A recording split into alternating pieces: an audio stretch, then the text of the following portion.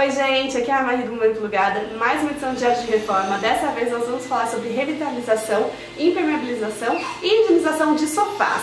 Como vocês sabem, é, desde que a gente mudou pra cá, teve alguns sofás que ficaram com a gente, então nada mais justo do que deixar eles com aquela carinha de novo e aproveitar e proteger toda a família dos ácaros. Estou aqui com a Raquel e com a Geisa da Ultra Clean e elas vão falar um pouquinho sobre esse tratamento. Vamos lá?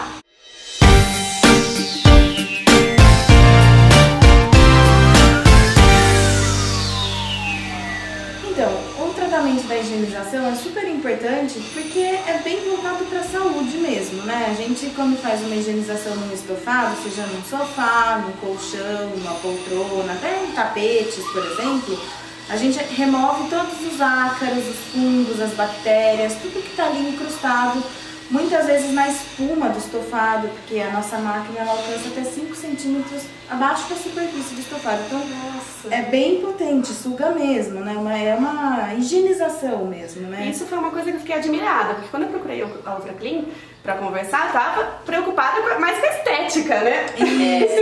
Eu expliquei pra Marie que a estética é a consequência, a limpeza Aham. estética é a consequência. O que a gente foca mesmo é na saúde da, da família, da casa, pra tirar toda essa sujidade do dia a dia, esse pó, esses ácaros, essas coisas que fazem mal pra gente, principalmente pra quem tem alergia, né?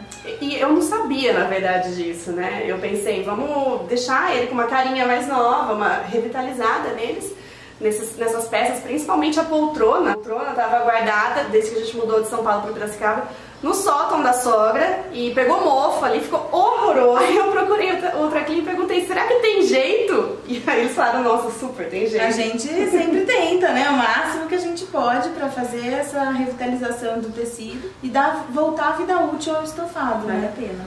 É, então, e o bacana foi esse outro lado que eu encontrei, buscando a estética, eu descobri essa questão da saúde. E aí, pensando na questão da saúde também, a gente, eu acabei falando do, do colchãozinho do quarto da Clara, Uhum. né? É, os colchões, na verdade, um ano depois que você está usando um colchão, um terço do peso dele é ácaro. Então, assim, Um terço, gente! É. A Clara já usa esse colchão há três anos. então aí, ó, você pode ver que O colchão todo é ácaro. é praticamente ainda Eu deveria trocar o colchão. Não, com a higienização você consegue recuperar ele, né? Gente, que medo dessa constatação! A gente aproveita para remover tudo isso e aí, como é o caso, por exemplo, do colchão da Clara, a gente vai impermeabilizar depois. E aí isso vai fazer com que a, a higienização fique selada. Então a durabilidade dessa higienização vai ser muito maior. E depois a gente pode até jogar uma taça de vinho ali em cima que não entra. É. Pode jogar. Não tem problema. Olha só. Prontinho. Suco, água, refrigerante, vinho, café, tudo quanto é líquido não tá protegido, não tem Tá. problema nenhum. E vamos falar do xixi, né? Porque querendo ou não, as crianças às vezes têm aquele escape noturno. É, O colchãozinho impermeabilizado. É, a gente sabe, ureia é super.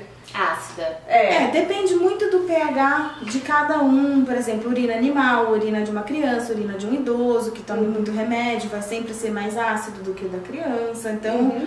tudo isso vai interferir na eficácia do produto. É por isso que a gente fala que a gente não dá a garantia de que esse produto vai proteger contra a urina.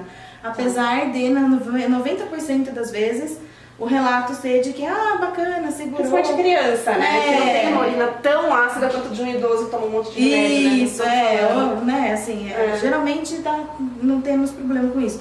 Porém, se, se penetrar, se tiver um problema de penetrar a urina, ou às vezes a criança ficou lá a noite toda e o peso dela jogou aquilo para baixo e acabou penetrando, mesmo assim, mesmo a nossa garantia não cobrindo, a gente vai até a casa da pessoa, faz a higienização no local, né, de novo, e reaplica o produto sem custo nenhum. Então, Que legal, e isso é uma é um- vantagem ultra clínica. é uma vantagem da outra clean, é. A gente dá aí, essa galera. assistência pós, né?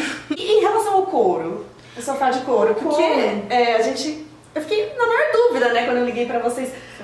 O sofá de couro tem vantagem em fazer isso? Porque ele já é uma coisa impermeabilizada, vamos dizer. É, então, o couro hoje, o tratamento que a gente oferece pro couro é da limpeza e hidratação. Uhum. Então a gente vai, faz a limpeza no, no, couro, porque entre as tramazinhas do couro ali sempre ficam as sujeirinhas, principalmente quando o estofado é claro, bege, branco, uhum. cru, aparece bastante. E aí a gente procura fazer toda a limpeza daquela região, deixar novo de novo, uhum. e daí a gente vem com produto para hidratação. Tá. Né? E aí, é, porque eu falo que o couro, o ideal dele é, é, hidratar a peça a cada seis meses. Mas ninguém faz isso, né? O meu nunca foi hidratado. e aí, quando acaba rachando, a pessoa fala, poxa, nossa. O meu! Ele não rachou ainda, mas tá em vias de.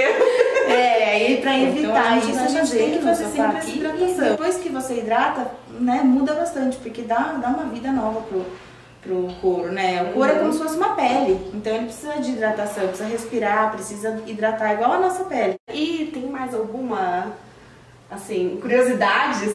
Carros, cadeirinha é... de carro, né? Ah, cadeirinha de bebê. Cadeirinha, nossa, gente, cadeirinha de bebê, tem tanta cadeirinha que a gente faz, às vezes parece que não tá suja. E o que sai de caldo preto parece um todinho. a mãe fica, gente, eu não acredito. E a, e a, criança tá lá, né, em contato direto. Então é bom pra, pra fazer essa limpeza também. Carrinho de bebê. Ah, dá pra legal. fazer. A gente tem todo esse cuidado aí. É, é super importante, na verdade, né? Às vezes a criança é alérgica. E aí é um problema, né? Ou vai reaproveitar a cadeirinha do irmão mais velho, do primo, e aí dar uma higienizada, né, pro próximo. É, é. super bacana. Um beijão, então. Obrigada. Obrigada, Obrigada a você. você. Até o próximo vídeo, gente. Tchau, tchau.